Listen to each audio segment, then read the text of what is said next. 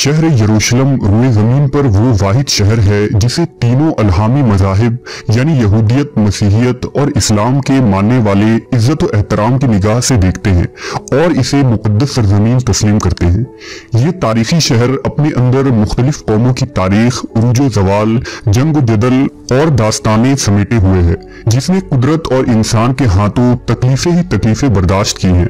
ये मुकदस शहर कई बार उजड़ा और आबाद हुआ, लेकिन आज भी यरूशलम लोगों के दिलों में एक इंफरादी मकाम रखता है। शहर यरूशलम अपनी जोग्राफिकल लोकेशन के लिहाज से भी अजीब तरीन शहर है। ये शहर ढलवान पहाड़ी पर वाक़ है, जो जजरेल की सरजमीन से लेकर उकबा तक फैला हुआ है, जो जुनूब और मशरक के अलावा पहाड़ी के दरमियान घिरा है। हिस्टोरिकल रिकॉर्ड ये बताती है कि यरूशलम में कभी कहत नहीं पड़ा, जबकि ये शहर तीन हज़ार साल से मौजूद है। यरूशलेम की वादियों में मौजूद दूर दूर तक फैले चूना पत्थर और संग मरमर की बंजर वादियाँ एक पुरकशिश और कुदरती वादी की शक्ल इख्तियार करती है। यरूशलेम के कई नाम हैं। मुख्तलिफ़ कौमों ने मुख्तलिफ़ दौर में इसे अलग अलग नाम से नवाजा है। इसका सबसे पुराना नाम जेबुस है। यहूदी लिटरेचर के मुताबिक हज़रत इब्राहिम सलाम ने इस शहर को जिरा कहा था और बाद में शालीम नामी बादशाह ने 2000 साल कबल मसीह में इसमें शेलम का इजाफा कर दिया। इस तरह दो अबरानी अल्फाज यानी येरो और शलम का मरकब ये शहर यरूशलेम कहलाया। इसके अलावा अरबों ने इसे सुनहरा शहर यानी गोल्डन सिटी का नाम भी दिया था। क्योंकि जब सूरज तुलू होता था तो उसकी किरणों से यहाँ सुनहरी पत्थरों से बने हुए मकानात जगमगा उठते थे। जब यहाँ रोमियों की हुकूमत आई तो उन्होंने इसे इलिया का नाम दिया था। इस तरह मुस्लिम हुक्मरानों ने इसे अल कुदस का नाम दिया, जबकि यहूद नसारा ने यरूशलेम के नाम को ही तस्लीम किया। और इस तरह आज तक इसे यरूशलेम कहकर पुकारा जाता है। इंसानी यादों में दुनिया का कोई मकाम बैतुल मुकद्दस से कदीम अब तक मालूम नहीं हुआ है। अहले किताब के अकायद के मुताबिक इलिया वो सरजमीन है जिसके ज़रिया इंसान गुनाहों से पाक हो जाता है। यही वो जगह है जहाँ से कायनात की तखलीक हुई। जबकि अहादीस के मुताबिक यरूशलम में सबसे पहले खुद हज़रत आदम सलाम या उनके किसी बेटे ने कदम रखा था। जैसा कि नबी सल्लल्लाहु अलैहि वसल्लम ने फरमाया है कि रुए ज़मीन पर सबसे पहली मस्जिद मस्जिद हराम है और उसके 40 सालों बाद बैतुल मुकद्दस की बुनियाद डाली गई थी। लेकिन गालिबा उस वक्त यरूशलेम में इंसानी आबादी नहीं फैली थी। तारीख के मुताबिक सबसे पहले यहाँ आल साम, यानी नूह सलाम के बेटे साम की औलादें 2500 कबल मसीह में आकर आबाद हुई, जिन्हें किनानी कहा जाता था। इसलिए यरूशलम को कदीम तारीख में अर्ज़ किनान के नाम से याद किया जाता है। फिर 2000 कबल मसीह के ज़माने में हज़रत इब्राहिम सलाम ने इराक से यरूशलेम हिजरत फरमाकर इस इलाके में पहुँचे और हबरून के मकाम पर सुकूनत इख्तियार की।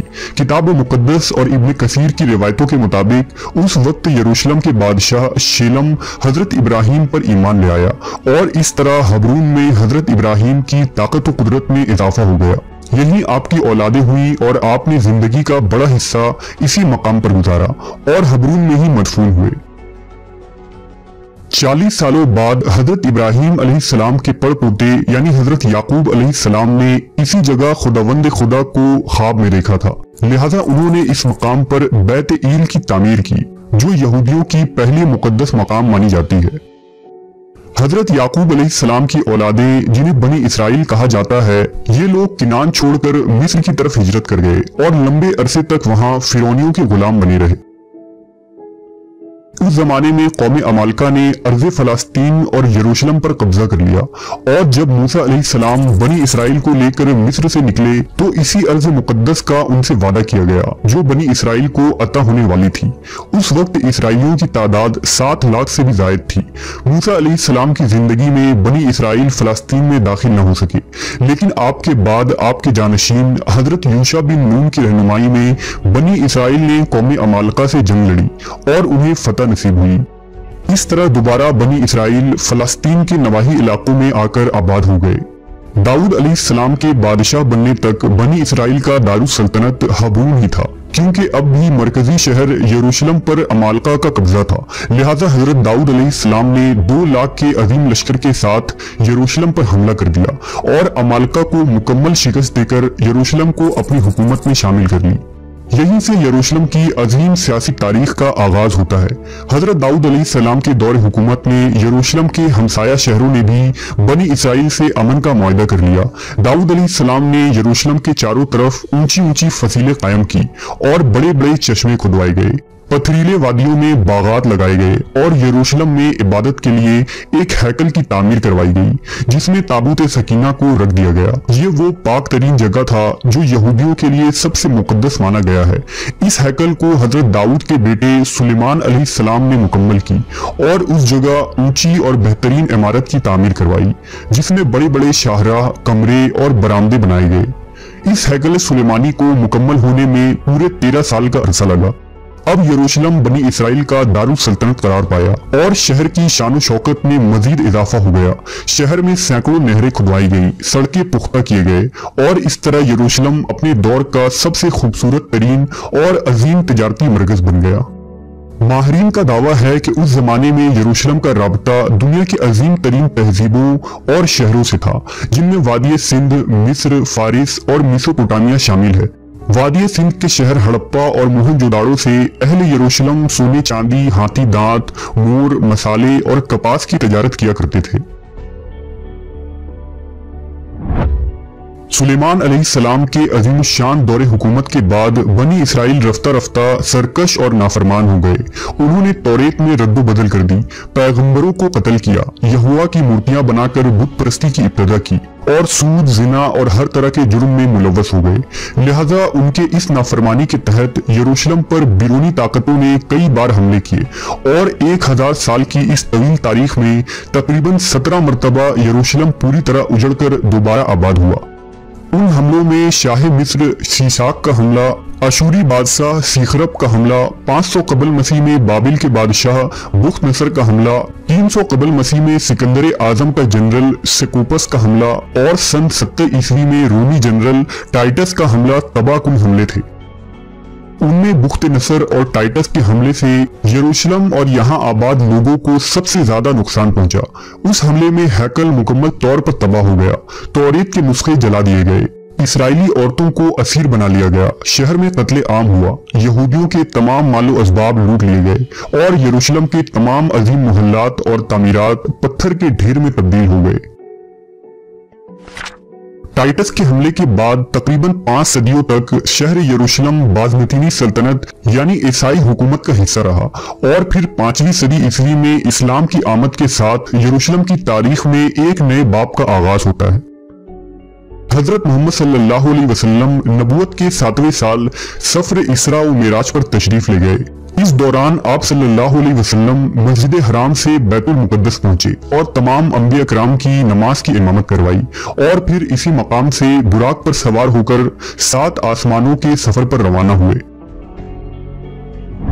इस तरह काबा शरीफ और मस्जिद नबवी के साथ यरूशलेम के बैतुल मुकद्दस को इस्लाम का अहम तरीन मकाम का दर्जा हासिल हुआ।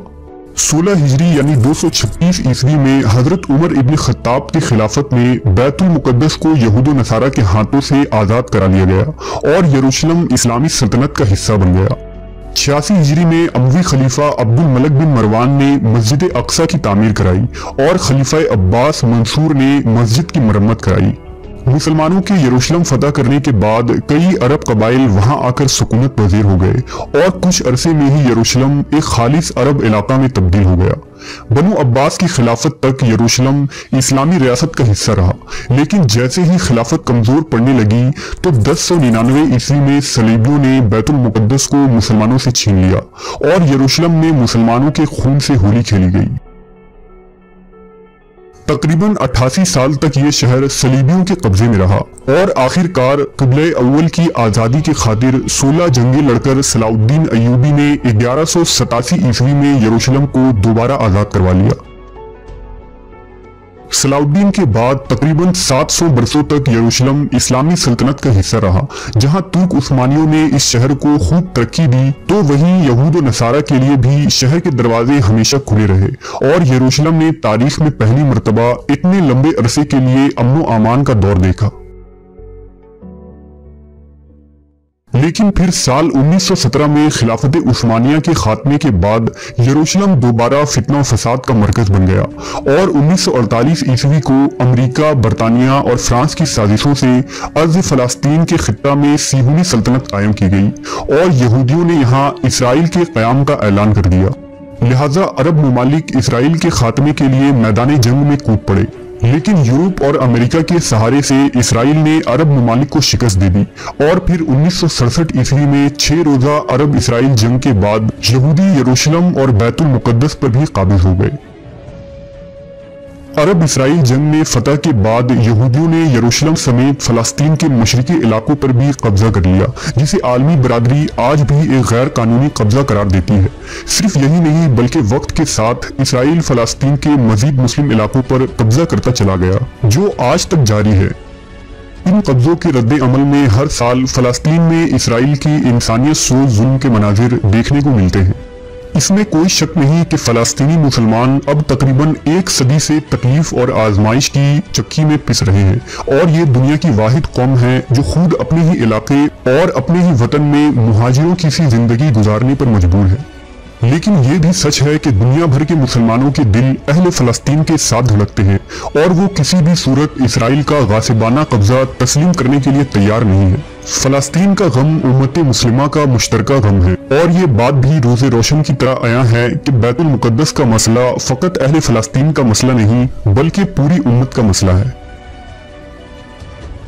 अहदीस के मुताबिक कुर्ब क़यामत में यरूशलेम जंगों का मरकज होगा और वहाँ इस्लाम का गलबा होगा। हज़रत ईसा सलाम का नजूल भी इन्हीं इलाकों दमिश के मशरक में सफ़ेद मीनार के पास होगा और वो दज्जाल को बाब लुद के पास कत्ल करेंगे। बाब लुद फलस्तीन के इलाके में बैतुल मुकद्दस के करीब है और इस तरह फितने याजूज माजूज की हलाकत और इंतहा भी बैतुल मुकद्दस के करीब जबल अल खुमर के पास होगी। और क्यामत के करीब वो वक्त भी आएगा जब एक मोमिन जमात के हाथों मुसलमान एलिया यानी बैतुल मुकद्दस में इस्लाम का झंडा नसब करेंगे।